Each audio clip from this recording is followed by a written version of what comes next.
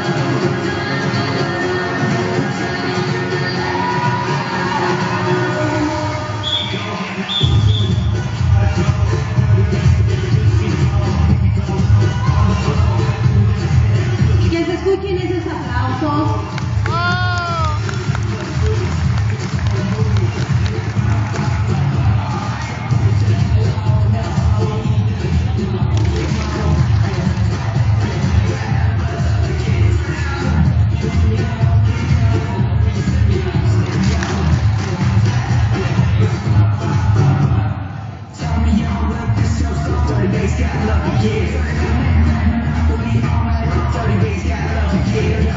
see that girl from KM. Much love in that atmosphere.